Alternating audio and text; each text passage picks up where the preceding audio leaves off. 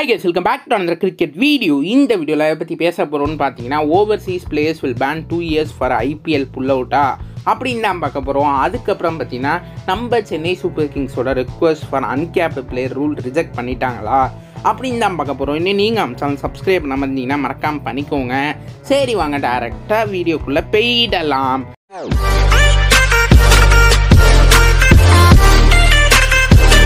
First பார்த்தீங்கன்னா Indian cricket team அப்டேட்ஸ்லேருந்தே start பண்ணலாம். ஃபஸ்ட்டு ஓடிய மேட்ச் இந்தியா விசஸ் ஸ்ரீலங்கா ஒரு டையில் போய் முடிஞ்சிருச்சு. அந்த மேட்ச்சை அசால்ட்டாக இந்தியா ஜெயிச்சிருக்கணும். பட் நம்ம தொடர்ந்து விக்கெட்ஸ் விட்டு அதுவும் கடைசி ரெண்டு விக்கெட் ஒரு ரன்னு கூட இல்லாமல் விட்டோங்க. ஏன்னா ஒரு ரன் எடுத்தால் நம்ம அந்த மேட்ச்சே ஜெயிச்சிருக்கணும். சிவம் டூபே அவுட் ஆகிறாரு எல்பிடபிள்யூவில் அடுத்த பால் ஹர்ஷதீப் சிங் கண்ணை மூடிட்டு சுற்றினார் அந்த பால் திருப்பி எல்பிடபிள்யூ ஆகி அந்த மேட்ச் டையில் போய் முடிஞ்சிருச்சு. ஸோ இதுதான் இந்தியன் கிரிக்கெட் டீம் அப்டேட்டை பொறுத்த வரைக்கும் ரிஷப் பண்ட் பார்த்தீங்கன்னா இனாகரல் டெல்லி ப்ரீமியர் லீக்கில் ஃபியூச்சர் ஆக போகிறதா இப்போ வரைக்கும் ரிப்போர்ட்ஸ் வருது.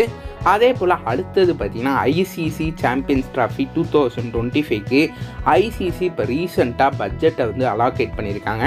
சிக்ஸ்டி ஃபைவ் மில்லியன் டாலரை வந்து அலாகேட் பண்ணியிருக்காங்க. அதில் பார்த்தீங்கன்னா கண்டன்சிஸ் ஃபண்டுன்னு ஒன்று இருக்குது அது எதுக்குன்னு கேட்டிங்கன்னா இப்போ வந்து மேட்சஸை பார்த்தீங்கன்னா அவுட் சைட் பாகிஸ்தானும் நடத்தலாம் அப்படின்னு ஐசிசி பிளான் பண்ணியிருக்காங்க. இப்போ இந்தியா பார்த்தீங்கன்னா இப்போ வந்து பாகிஸ்தானுக்கு ட்ராவல் பண்ண ரெஃப்யூஸ் பண்ணால் இந்த ஐசிசி சாம்பியன்ஸ் ட்ராஃபிக்கு ரெஃப்யூஸ் பண்ணால் ஹைப்ரிட் மாடலில் ஐசிசி சாம்பியன்ஸ் ட்ராஃபி நடக்கிறதுக்கான ஃபண்டையும் அலாகேட் பண்ணியிருக்காங்க.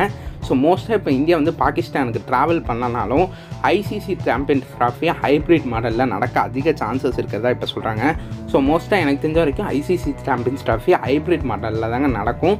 பாகிஸ்தானுக்கு இந்தியா ட்ராவல் பண்ண மாட்டாங்கன்னு தான் எனக்கு தோணுது. பட் இருந்தாலும் நம்ம வெயிட் பண்ணி தான் பார்க்கணும். இதில் என்ன நடக்க போகுது அப்படின்னு நீங்கள் மறக்காமல் கீழே கமெண்ட் பண்ணுங்கள் ஐசிசி சாம்பியன்ஸ் ட்ராஃபிக்கு இந்தியா பாகிஸ்தானுக்கு ட்ராவல் பண்ணுமா அப்படின்னு நீங்கள் மறக்காமல் கீழே கமெண்ட் பண்ணுங்கள் இப்போ பார்த்தீங்கன்னா நம்ம அடுத்த அப்டேட்டுக்கு போகலாமே அடுத்த அப்டேட் என்னப்பா அப்படின்னு கேட்டிங்கன்னா overseas players will ban two years for IPL pull அவுட்டா அப்படின்னு கேட்டிங்கன்னா இதை பற்றி அன்றைக்கி பிசிசிஐ மீட்டிங்லேயே ஒரு ஐபிஎல் ஃப்ரான்ச்சைசஸ் எல்லாரும் ப்ரொப்போஸ் பண்ணியிருக்காங்க.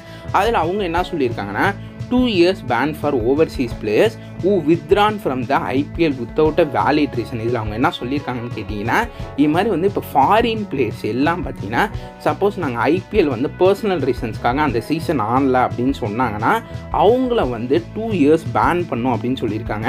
இன்ஜுரி வந்தால் எதுவும் நடக்காதுங்க. இப்போ வந்து பர்சனல் ரீசன்ஸ் நான் வந்து புல் அவுட் பண்ணுறேன் ஐபிஎல்லேருந்து அப்படின்னு சொன்னால் ஐபிஎல்லேருந்து அவங்களுக்கு வந்து டூ இயர்ஸ் பேன் கொடுக்கணும் அப்படின்னு ஃப்ரான்ச்சைசஸ் ரெக்வஸ்ட் வச்சுருக்காங்க.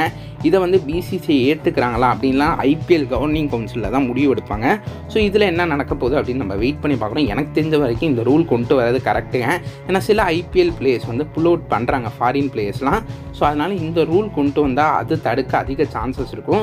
ஸோ அதனால் எனக்கு தெரிஞ்ச வரைக்கும் இந்த ரூலை ஐபிஎல் கவர்னிங் கவுன்சில் கொண்டு வந்தால் ரொம்பவே நல்லாயிருக்கும் கொண்டு வராங்களா அப்படின்னு நம்ம பார்ப்போம். நீங்கள் மறக்காமல் கீழே கமெண்ட் பண்ணுங்கள் இந்த ஓவர்சீஸ் பிளேஸை டூ இயர்ஸ் பேன் பண்ணுறது ஃபார் ஐபிஎல் புல் அவுட் கரெக்டாக அப்படின்னு நீங்கள் மறக்காம கீழே கமெண்ட் பண்ணுங்கள் அடுத்த அப்டேட்டுக்கு வந்துடலாமே. அடுத்தது என்னன்னு கேட்டிங்கன்னா CSK requested for uncapped player ரூலை வந்து ரிஜெக்ட் பண்ணியிருக்காங்க சிஎஸ்கே என்ன சொன்னாங்கன்னா அவங்க வந்து அந்த மீட்டிங்கில் இது மாதிரி வந்து அன்கேப் பிளேயர் ரூலை திருப்பியும் கொண்டு வாங்க அப்படின்னு டூ தௌசண்ட் எயிட்லேருந்து டூ தௌசண்ட் டுவெண்ட்டி ஒன் வரைக்கும் அந்த ரூல் இருந்துச்சு. திருப்பி அந்த ரூலை வந்து ஸ்க்ராப் பண்ணிட்டாங்க. அந்த ரூல் என்ன சொல்லுது அப்படின்னு கேட்டிங்கன்னா அன்கேப் பிளேயர் ரூல் என்னென்னா இது மாதிரி ரிட்டையர்டு பிளேயர்ஸ் பார்த்தீங்கன்னா இந்த அன்கேப்டு பிளேயர் கேட்டகரியில் எப்போ வரலான்னா ஃபைவ் இயர்ஸ் ரிட்டையர்மெண்ட் இந்தியாவுக்கு அனௌன்ஸ் பண்ண பிறகு அவங்க வந்து அன்கேப்டு பிளேயரில் வந்துடுவாங்க ஸோ அது மாதிரி மூலமாக தான் எம்எஸ் தோனியை ரீட்டைன் பண்ணோம் அப்படின்னு சிஎஸ்கே நினச்சாங்க. அதனால தான் இந்த ரூலையே சிஎஸ்கே ரிக்வஸ்ட்டாக வச்சாங்க.